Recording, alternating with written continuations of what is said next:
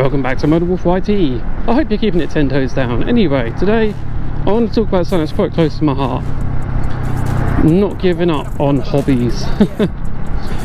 so, we live in a weird world where as soon as we hit certain ages, it's frowned upon to have certain hobbies.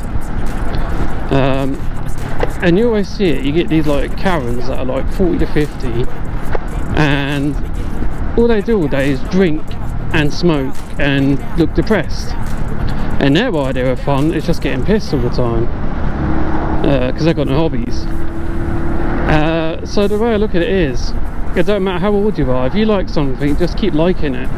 For example if you reach 30 it don't mean you have to give up skateboarding anymore.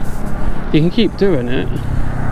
Or like if you're 40 and you used to play video games just keep playing. them these are positive hobbies. There was a point in my life where um, I was living on my own uh, pretty secluded and I gave up on all hobbies because I was just too focused on uh, surviving I suppose you, you could say.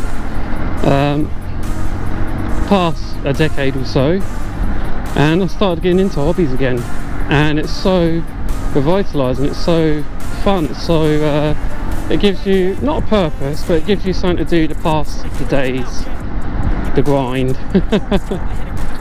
So if you like I don't know say doing gardening skateboarding playing games listening to music stuff like that then just keep doing it. And sod what other people think about you.